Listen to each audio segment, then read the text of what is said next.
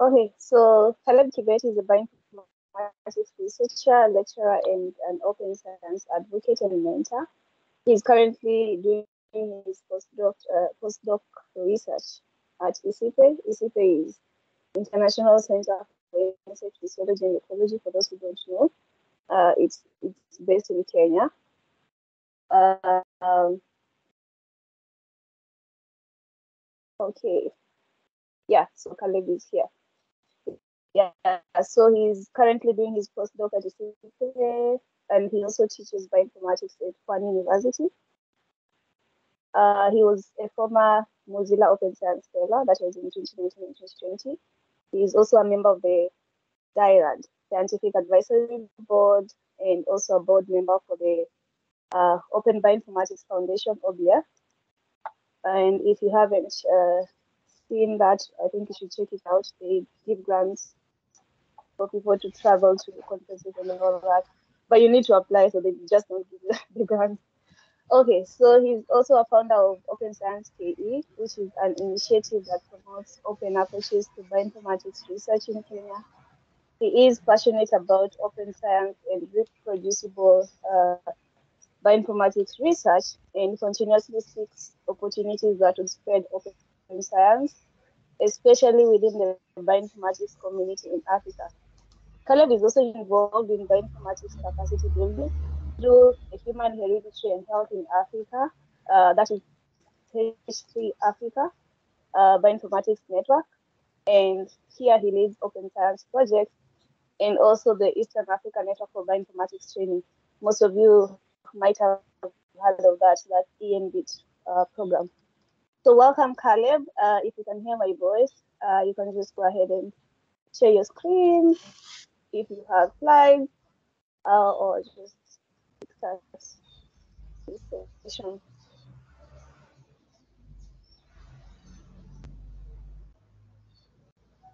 Uh, thank you, Ruth. I don't know if you can hear me. Yeah, I can hear you. Fred, please mute your mic. Okay. Yeah, uh, please proceed, Khalid. Perfect.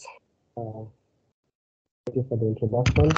So, just confirm that you can hear me well. Um, so, Uh, so you can, you can hear you, but you keep breaking. Your voice keeps breaking. Yes. Is it better now? Uh, just want to confirm if Yeah, yeah, it's better now. Okay.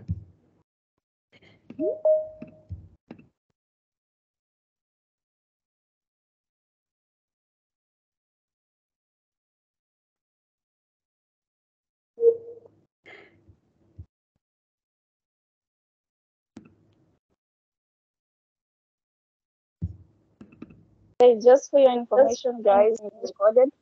Uh, so hope everyone is fine with that.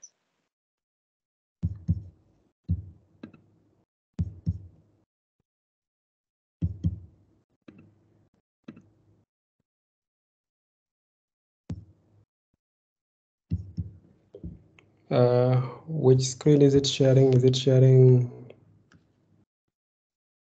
That's the correct one? The Uh, yeah, the question. Okay, so uh, thank you uh, for the introduction, Ruth, and uh, really uh, grateful for the opportunity to just uh, share my story. And uh, I would really I'd talk a little bit, and then we can have a conversation uh, around most of the other things. Uh, just provide a very quick introduction to my journey to uh, bioinformatics and generally my science journey, and how I how I found myself in science.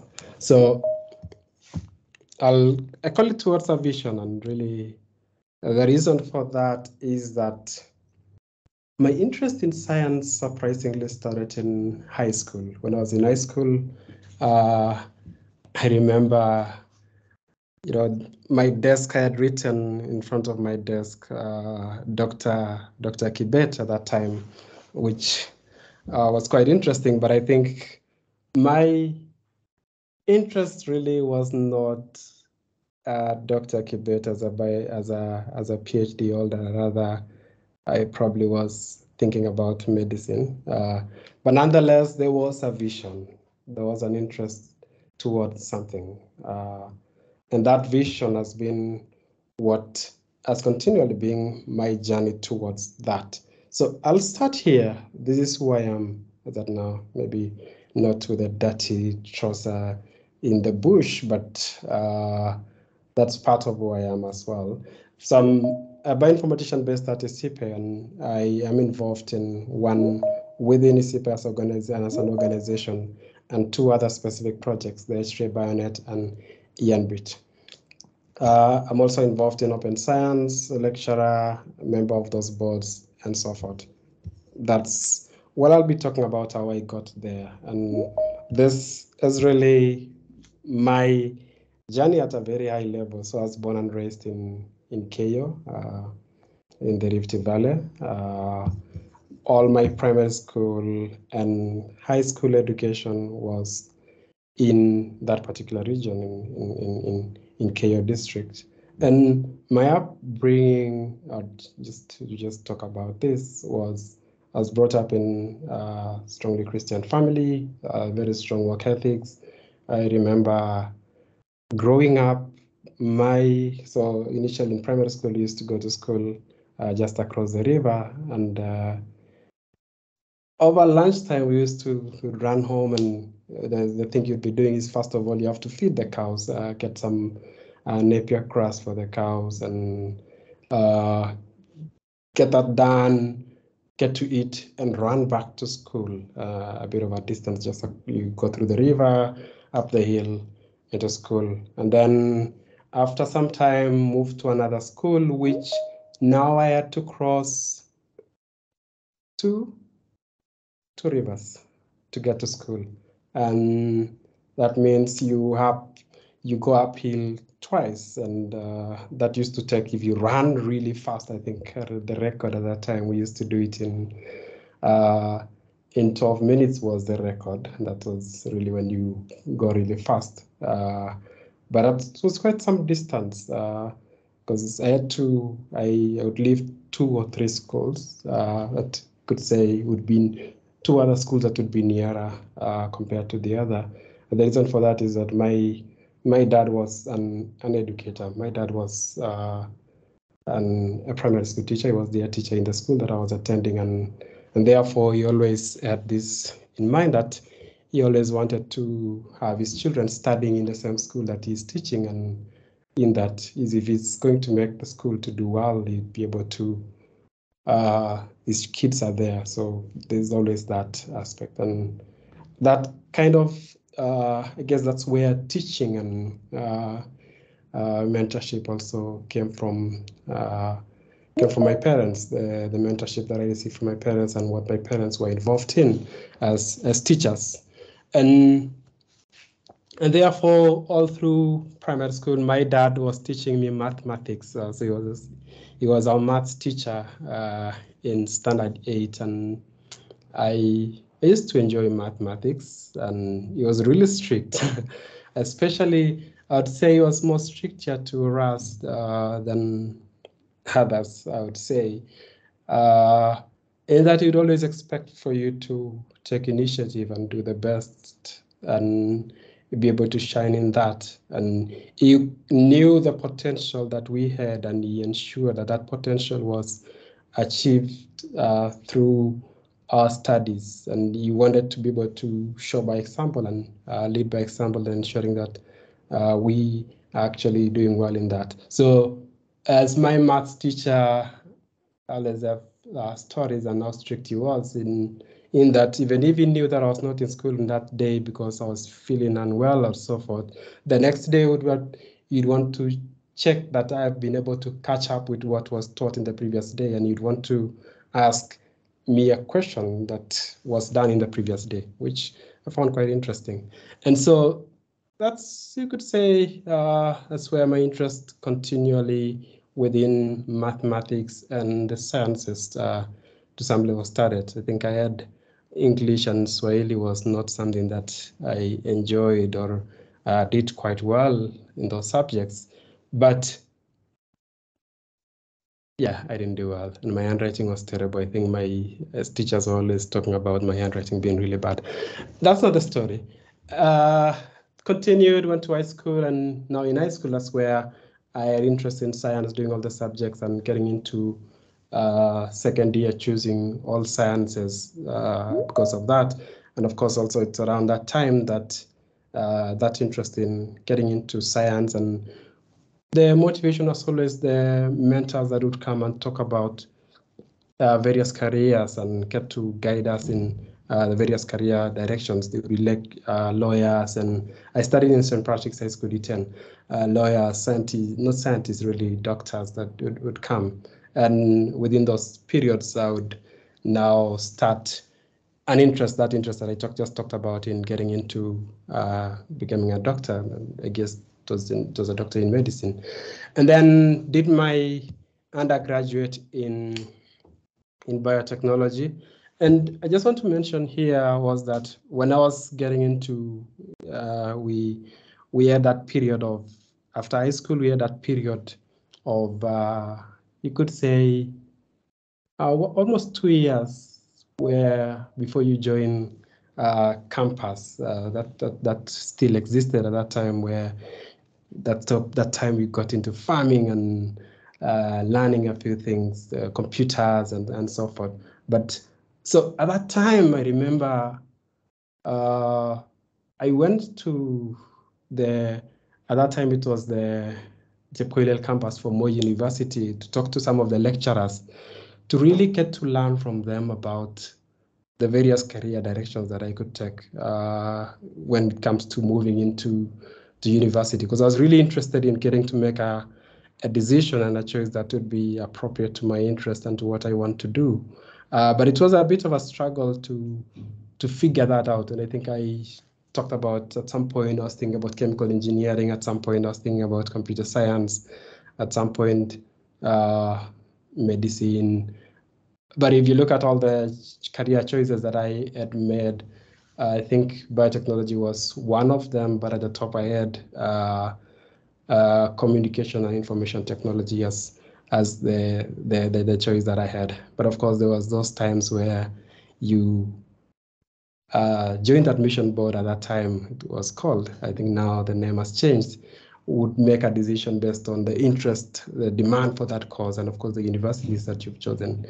And therefore for some reason when i went to re uh, to select for courses i uh, i selected biotechnology and uh, not with so much of a knowledge i would say. I knew to some level about it but uh, in my mind, I thought there was more technology in that uh, than than bio, uh, but that was what I was thinking at that time. And so I did the BSc in biotechnology, but my interest in computer science and my interest in IT, because I remember when I was in in campus, I really worked quite hard to try and change the courses, but that didn't happen. So I ended up in biotechnology uh, in in Kenyatta University. Uh, that's where I did my my undergraduate. And in doing biotechnology and through interactions with uh, the course and as well getting to know what it is about, because biotechnology now is just um, less about there's less about technology, but it's more towards uh, getting to harness uh, more or less uh, biological life and get to uh, utilize that in uh, in adding value to life. So you could think about uh, in medicine getting to uh, figure out how to, um, when it comes to diseases or getting to prepare vaccines. Uh, there's some aspects of of that in that in, in that there's aspects of uh, um, plants uh, within plants now which what is well known there is the genetic modification. And uh, genetics was quite uh, an area that was of interest. But my interest in, I'd say, in tech still remained. And in undergraduate second year, that's when uh, some students from ILRI came to uh, to Kenyatta University for some workshops, and that's when they talked about biotech, bioinformatics and what it entails. And it is at that point that I knew that I was going to do a master's in, in bioinformatics. At the point of that uh, presentation from, uh, from those students. And from that time on, my preparations and uh, I would say self-learning and seeking out of mentors and guidance has always been in the direction of figuring out how to get into this field, the field of bioinformatics. So within it was within that period that I I really started uh, reaching out to mentors, uh, started reaching out to mentors uh, to learn more about this particular field. And one of the people that I reached out to was uh, actually my current boss, uh, Dr. Masiga, who was based at ICIPE. He was running, he was the president at that time of the African uh, Computational uh, Biology and Bioinforma Computational Biology uh, Society, African Society for Computational uh, Biology, ASBCB. And in reaching out to him, it took a number of emails until he responded. And I also wanted to become a member of that organization because of my interest in bioinformatics. And when I got an appointment with him, my interest was to learn, to learn about bioinformatics, to learn. And I think the questions I actually more or less uh, a few questions. One was I would like to learn about this field. Uh, what does it entail? Uh, what's the status of this field in the country? What are the prospects when it comes to, to this field going forward? What are the opportunities that are in this field? The other uh, question was, given my current stage, uh, the stage of my career that I am at, uh, at that point, I'd, I was in my fourth year. Uh, I think I was, yeah, I was in my first fourth year, second, first semester, moving into second semester, and within that period, given the stage of my career, what should I be doing to prepare myself for a specialization in bioinformatics? And uh, and the other question, of course, was always was on who else should I be talking to? Who else should I be reaching out to? Who else should I be learning more about bioinformatics from? And this at that time that he there was a number of uh, people in that space. There was uh, currently uh, Roslyn Macharia, who is currently uh, a lecturer at University of Nairobi in bioinformatics. So he was doing a bioinformatics project here at ICIPE uh, as, a P as a PhD within the RPS program. Uh, the other person was George Obiero, who was also doing a PhD in bioinformatics uh, at that time, they were both registered in the University of Western Cape in, in South Africa, but doing their research at ICIPE. Uh, and then the other person that was in that space was uh, Dr. Mireji, uh, who was now was we had affiliation to ISIPE, affiliation to Yale, and affiliation to uh, KALRO, and at that time it was still it still KARI. Yes, it was still KARI at that time, and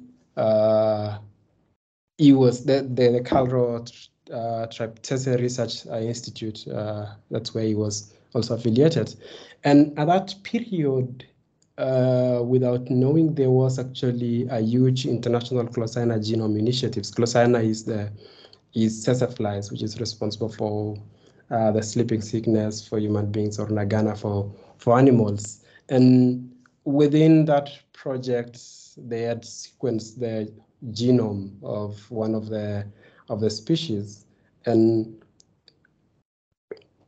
through by so from that conversation of the information that I'm interviewing I got to be introduced to uh, now Dr. Obiero and Roslyn Macharia and uh, Paul Mireji and the conversation now in bioinformatics started. And I went back to campus and continued learning Perl. Uh, I think uh, Perl was the language of choice at that time.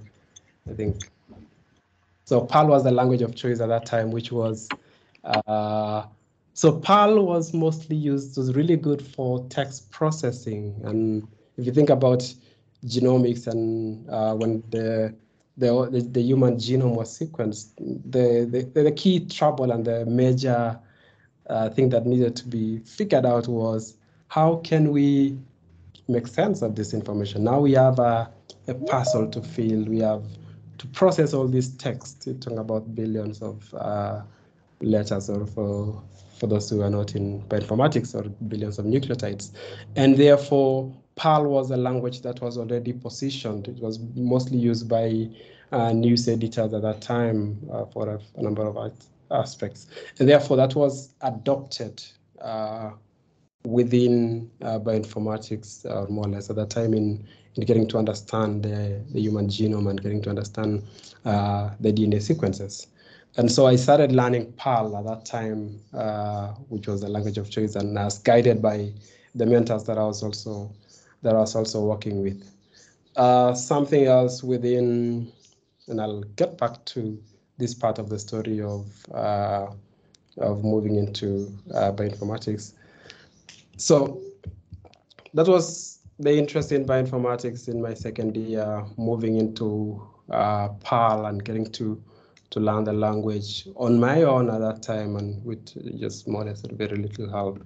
So I just today I was going through my Dropbox. I actually found uh, this presentation that I did.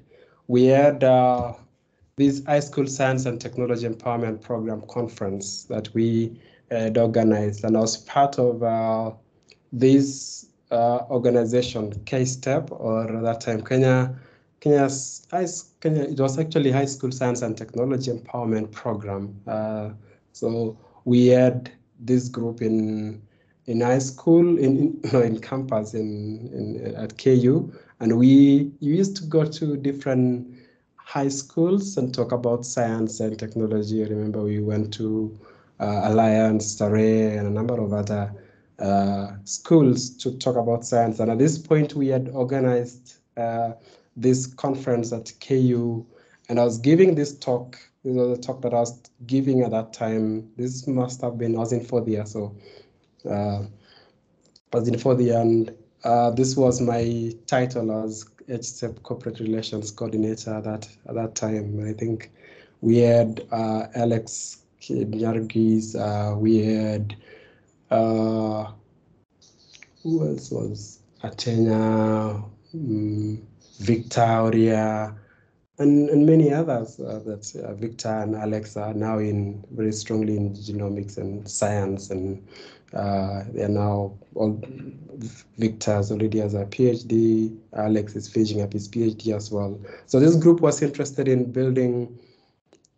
Uh, or more or less creating mentorship around science and technology. And this, I was giving this talk, which is based on at that time choosing career based on personality and, and interest. And our conference theme was scientific simulation for talent development and, and empowerment. So that was what uh, I was up to at that time. So, and a number of other things involvement in uh, the biotechnology club and the rest. So within now, like the inform information interviewing was more or less just talking to various people within the field. Uh, at that time also I did my attachment uh, at the uh, National Biosafety Authority uh, after after my undergraduate, so or within my undergraduate, so attachment at the National Biosafety Authority. And at that point, the the national biosafety law or the biosafety law had just been passed, and the the biosafety law and other as a biotechnologist that was uh, quite an an interesting field. And I just want to also just briefly talk about how I got my attachment. Uh, at that time, actually, outside the CEO of the National Biosafety Authority, and yes, outside the CEO and the technical director I was the only other scientist. Uh, I was in my third year of undergraduate at that time. I was the only other, could say, scientist at that uh, organization, and it was just established. And I remember when I was looking for an attachment, where to do my attachment, I saw I saw an advertisement. No, it was actually not an advertisement. It was in a, I was reading a newspaper and I saw the name of the CEO, Roy Mugiira, at that time in the newspaper and talking about the National Biosafety Authority. And therefore, I started Googling him, found his email address, sent him an email uh, to talk to him. I had a chat with him, and I think I had a chat with him the previous week. The next week, I was already uh, starting my attachment, uh, the, the National Biosafety. And I was really involved in a lot at that time because there was no scientists like building the whole database of all the uh, GMO application that had been done until until that point. And uh, I was also involved in, as they were hiring now, I was involved in just onboarding most of the uh, scientists that came to be involved in that. But I thought if I wasn't uh, in bioinformatics, I think I would have been in in biosafety, uh, which was an area that was quite interesting.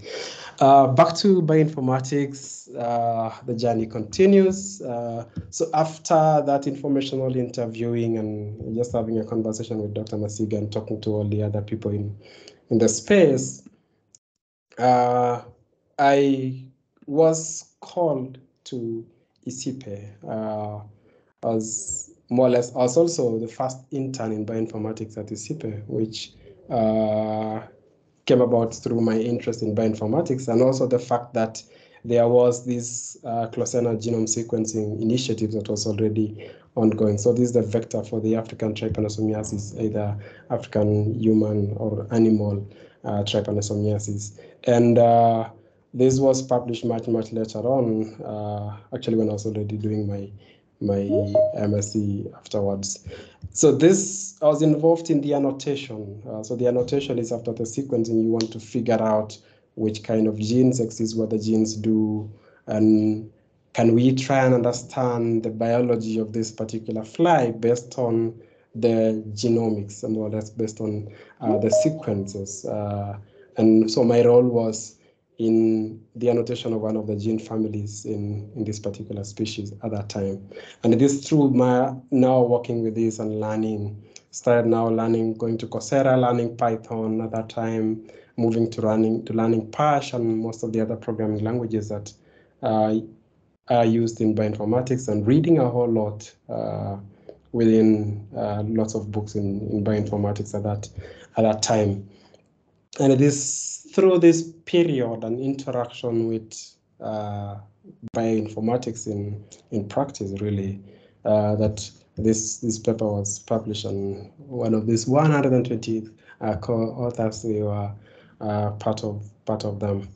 And this opened another opportunity because it was through this period I was doing my because I started my attachment even before graduating. I just finished coursework. Immediately after finishing coursework I started my attachment at ICIPE or my internship at the CIPE, and that went on until uh, by December that year, I had received, I, was, I graduated in December, and by that time, I had received an offer to do an MSc in bioinformatics at Rhodes University, uh, sponsored uh, offer, and that also came out about because of uh, the the interaction at ICIPE and uh, what I'd been able to to do and learn at ICIPE so my MSc was really in bioinformatics, MSc in bioinformatics at Rhodes University.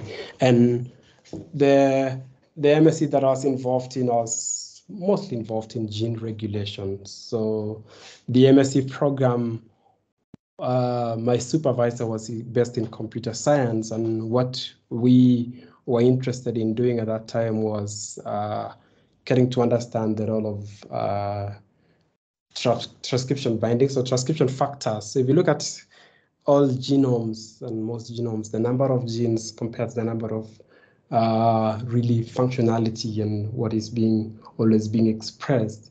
Uh, it's not always just similar and the, the functionality. So there's always the off-on switch, so uh, increasing the expression or repressing based on a particular other protein that does the that controls what is being expressed uh, uh, at any particular point and or at any, any particular cell. So dif different cells would need different proteins at different at different stages of development. They would need different genes or different proteins, if you may.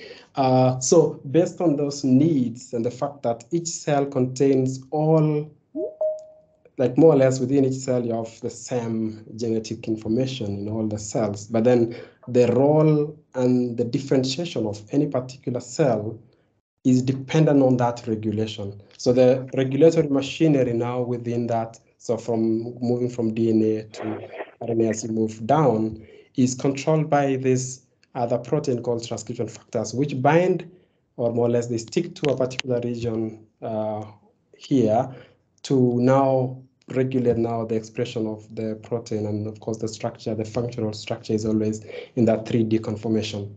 So that's what you are, and that when that process breaks down or doesn't work as expected, you have several diseases that come up. So, for example, most of the cancers are actually uh, due to the breakdown of that uh, of that regulation. And I was involved in the chronic myeloid leukemia, getting to explore if we could be able to identify markers just based on uh, the regulatory process and just trying to compare the regulation of those with cancer and those without cancer. we're working with cell line uh, a data set called ChIP-seq. And that's what I was involved in during my, my MSc. Can you still, yes, Najala? I'm actually not speaking. I think someone has unmuted their mic. Uh, uh, let's see. I think they muted themselves. Okay, that's it. Sorry. All right.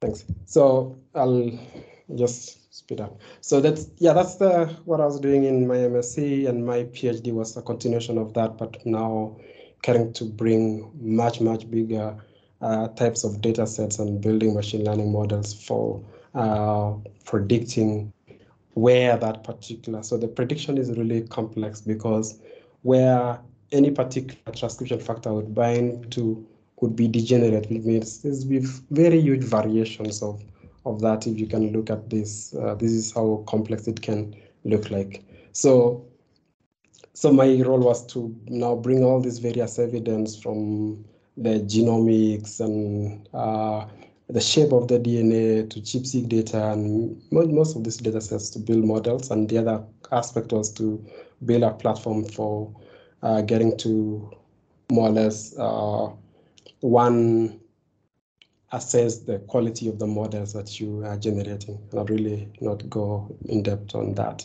And it was within my PhD that I started exploring also open science, the uh, collaborative research, uh, uh, publishing openly, data, software, and so forth. And of course, due to my involvement using uh, machine learning, I started also data science became my interest at that point, and I started getting involved a whole lot in hackathons and challenges, and that's how I was able to earn my skills in, in machine learning. One of them was the Dream Challenge. Started following very interesting people in different spaces in data science, in regulatory genomics, in bioinformatics, and open science as well, and and that's how more or less when I finished my PhD, coming coming back to Kenya. My interest actually was always to come back to Kenya and be involved in capacity building. So if you've been listening, you'd notice that mentorship has had a particular role there. Teaching has also had a particular aspect, and then now bringing on board now bioinformatics is also being one of my interests. So capacity building, bioinformatics, uh, data science, uh, open science also uh, started also becoming one of the areas that I was involved in, and that's where I get got to found when I came back to uh, found this group. And this was about came about because of my uh, a Mozilla Mozilla Science mini grant that we received to uh, build advocacy around uh, open science and bioinformatics within within the country. So we formed it was a group of scientists, researchers, promote open science practices in bioinformatics. So promoting open, collaborative, and reproducible uh, bioinformatics research uh, in Kenya. And then got back to my uh, the organization ICIPE. That's where I started also getting involved in leading uh, bioinformatics research and genomic data management, and with that vision of just have, creating a vibrant, productive, innovative, and that flexible bioinformatics training. So you could see training, research, and genomic data analysis was always uh, some of the principles. And uh, one, my, my roles, and I'll just talk about this very briefly, is just provide sufficient infrastructure for computing within the organization, uh, develop workflows for analyzing genomic data, uh, build a bioinformatics capacity, and of course, getting to establish different research programs in, in bioinformatics. And these are some of the projects that we involved in. One, EANBiT and H3 Bionet are you involved in training and capacity building. So we have students, PhD students, interns that we train. Uh, we build now the reproducibility from collection of samples in the field. We have the laboratory information management system, uh, genomic data management, workflows for the analysis, and of course, research now that comes from the various genomic projects that we have involved in, that we're involved in within the within the center. Within capacity building, I'm involved in the Bionet. Uh, there are a number of training initiatives that we run there. Uh, the East African Network for Bioinformatics Training. We also uh, have a number of uh, initiatives there, the MSc program and the residential training, and we've been able to build huge capacity. We in-house training, we run several trainings uh, within that, with one of really flagship project was the Bioinformatics Incubation and Mentorship Program that we got to establish to train uh, those who are interested in bioinformatics to venture into this space. So as someone completes their undergraduate studies and they want to get into bioinformatics, uh, building, uh, upskilling them to be able to, to prepare them for uh, specialization in bioinformatics. Uh, through that, uh, just play slightly as I finish. So come back to this. So that's where I'm on, you've got was teaching JKUAT, uh, Jomo Kenyatta University Bioinformatics at that time and being involved in advocacy, getting into becoming a bioinformatician. And then I moved into, through the Open Science, I became a Mozilla Open Science Fellow. And within that fellowship, we were interested in one, research data management, ensuring that, uh, especially within genomics and just building a framework for uh, managing genomic data. And then got into being a postdoc at ICIPE uh, afterwards. And the journey, the journey really continues, and we've been able to do a lot of things and build within building capacity. Had quite a number of students trained and uh, mentored through the various initiatives and programs that I'm involved in. H3 Bionet, uh, it also ran the open science project within that, and we are able to train uh, within open science and bioinformatics across across the continent, being involved in different initiatives. The Bioinformatics Hub of Kenya, uh, which really emanated from one of our programs, and uh, quite proud of the various achievements and uh, the growth that we get to see, is what really brings a lot of satisfaction uh, to me. And I think I've talked a lot. I've just noticed, and I think I'll just stop there and we can uh, take questions and just have a conversation. Yeah, thank you so much. Um, so now we, if you have any questions for him, just raise your hand or just type in the chat box, and then I'll, I'll read read out the questions. In the meantime, um, Caleb, you have been so successful in your career so far. Have you met any skepticism or resistance along the way? And if you have, how did you manage to overcome that? Sorry, so you said, have you met any? Resistance or skepticism along the way. And if you have, how did you overcome that? Uh, so resistance I've had really I would say I've been lucky and, and blessed in my interaction with people and in, in, in science. Challenges in science do exist. I didn't talk a lot about uh, those. Maybe we can we can talk a bit about that and some of the lessons that I've learned along the way. Uh, you can get to summarize that. But my approach has always been to to do unto others as it's done unto me, uh, or more or less like just do good, uh, the golden law of life, and uh, work with everyone, give the best in any particular thing that I'm doing, and get to look at the resistance and the challenges that come as as opportunities, especially getting to. For me, if you look at my pathway, has not been a typical pathway, if you may, and that has always come with its uh, challenges. That okay, you're expected to uh, really have a very very strong focus on one particular disease or one particular organism, and just that particular research focus. But I've not been uh, focused on on that. So my, my my approach has just always been to uh, take things easy and just figure out ways around. I think everyone can be, you can always have a conversation with someone and uh, figure out a way around that. Okay, and then um, what, what advice would you give us? Okay. I think your voice is not very clear. I'm not. I'm not. I, hope, I don't know if my it's the same Oh, as. Okay. Yeah, it's a bit. Uh, The video is a bit blurred as it as it comes. Yeah. okay, let me see. I don't know, but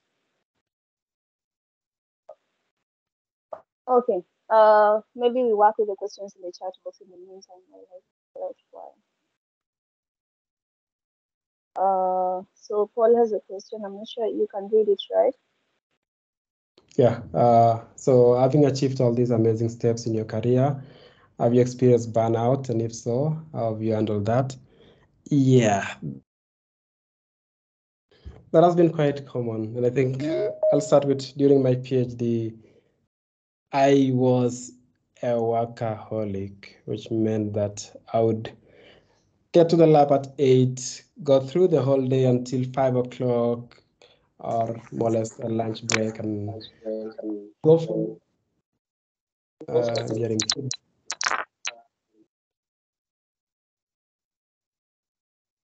Yeah, so go for lunch, din dinner, come back to the lab. I would always get to the house at past midnight. And for that led to at some point, I think uh a bit unwell. But really it led to at some point you just realize that you are overworking and it doesn't always translate to productivity really. Uh, what it does is that it leads to you're doing suboptimal work if you're working 18 hours or 16 hours, you have suboptimal work over 18 hours, as opposed to, and I think when I got to my third year of my PhD, I changed that completely. No working over weekends. Uh, by six latest, I'm done with it. I'm going home and and cooking book around that time I started just exploring uh, different South African recipes at that time. All my weekends I was involved in in cycling. I would go cycling 40 kilometers and up the hills in in South Africa and also yeah, I think I was also always never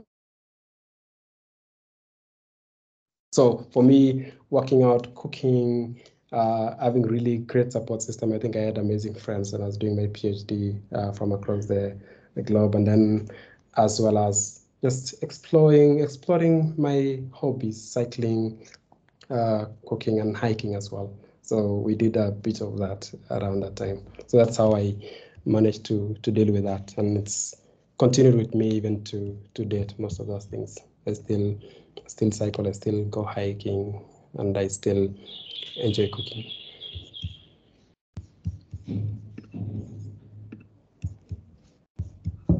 Uh, the other question was from Brian. Uh, University of uh, Rhodes University, does it offer structural and genomic bioinformatics, or which field has it specialized in? So yes, uh, Rhodes University has actually specialized in uh, structural bioinformatics. Uh, but during my, so the there are two, there were, my, my supervisor is now retired, and I think right now Rhodes University is almost purely focused on, the bioinformatics program is purely structural bioinformatics. But at that time, uh, one of the areas was on genomics, and the genomics area was more of regulatory genomics, which was being led by uh, my supervisor, Professor Philip Machanick, uh, now retired. And that's how I've got to explore that particular space uh, during my, uh, my PhD. But uh, right now, the focus is really on structural bioinformatics. another question from Brian, and when you were starting your bioinformatics journey, like taking your own personal reading and research, how exactly did you manage to get resources and materials? Maybe you can share some for some of us who are who are beginners. And all right, that's a really good question. At that time, actually, most of the resources that I used were textbooks. Uh, I would more or less look for PDFs uh, that were available openly in different topics. Uh, they were not so much in existence, and most of them I could I got them from uh, my mentors and just general researching, depending on what I was interested in learning. But I would say at this point, there's so many resources that are available that can guide you when you're starting your journey in bioinformatics. So now, like things like the carpentries, if you want to learn uh, programming, uh, you have Coursera. Coursera now, you have so many amazing uh, bioinformatics specialization. There's actually a full bioinformatics specialization, which has so many topics within it, from programming to machine learning, all the way to advanced uh, topics that you may be interested in. And therefore, venturing into bioinformatics right now is much, much easier. There's much more resources available. There's better mentorship available. Uh, there's so many people that are involved in that space. And I would say the Bioinformatics Hub of Kenya is the one space that you can uh, get into and you'd get someone to assist you, someone to provide some uh, some guidance as you as you venture into that space. So as a beginner, there's always opportunities.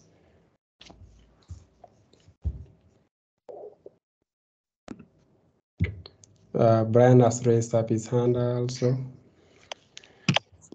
Okay. Look, I had a question. Like, um, uh, it's like I'm um, I have an interest in maybe pursuing my uh, pursuing a bioinformatics uh, purely computational at my PhD level.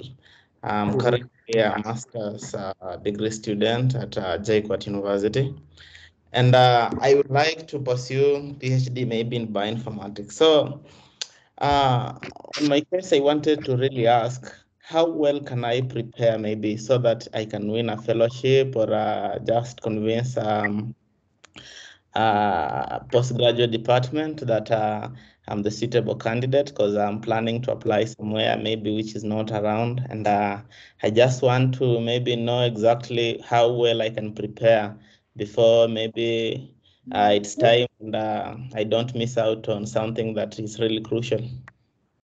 Okay. Uh, so preparation is one is when you have a very clear interest in that particular specialization that you want to undertake. It really starts there. It starts with why do you want to venture into that particular space? And if that is very clear in your mind and also uh, in your interest, then your preparation would show that. So one, getting to research that particular institution that you want to specialize. So if you want to specialize in uh, let's say, specialize in purely computational or they have really rich computer science uh, specialization or machine learning or data science, then you prepare for that because you have an interest. One is because you've chosen that organization because it has what you want, right? They have a specialization that you're interested in.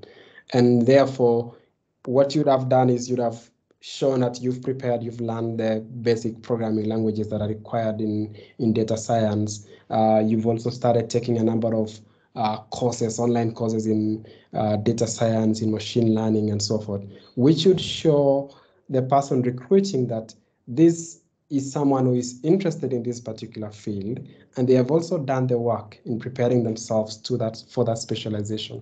So what supervisors always want to do is they want to see that you've shown initiatives, they want to see the curiosity, they want to see that you are able to learn.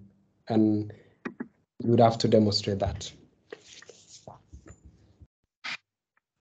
Okay, I think we have a couple more questions in the chat. Uh,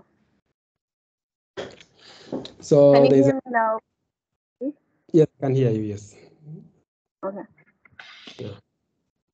So, uh, John, uh, what would you do differently if you were to start all over again? Hmm.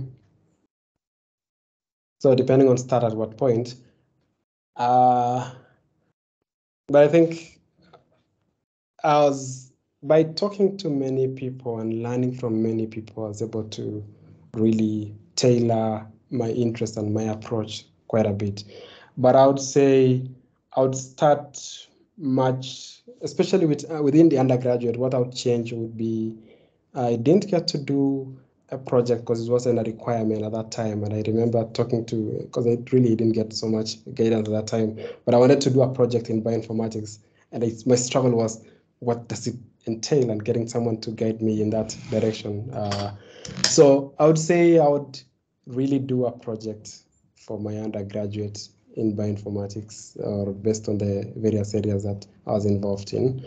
Uh, the other thing that I would do within my PhD, yes, I would, I would slow down a bit and really uh, just grow technical skills in various spaces uh, that I needed. I was able to do that, but I would, I would, I would, I would do much more of that, especially in genomics. Uh, my going to look at the country, there's much more focus on uh, genomics uh, as opposed to uh, the structural or even gene regulation uh, aspect. So I'd get more in depth with within the genomic genomic space, and uh, I would talk to more people uh, about about to start all over again. But I've been I've been I've been lucky and grateful in my journey. with this great science journey. That's from Brenda. How did you manage to remain motivated even when you faced you were faced with challenges? Hmm. How do you remain motivated? So yeah. So during PhD is hard. it's challenging. And uh, I remember some approach that I was because you're trying to develop a tool to to do something. And there was some approach that just was not working. One objective that i had and exploring different spaces uh, statistical technologies into some machine learning combining some data. It wasn't working for a very long time actually. I could really backed my my brain for a really really long time uh, and how what I did was always I would step back and just get to something and it just becomes too difficult. I'll step back and just get to look for some small wins.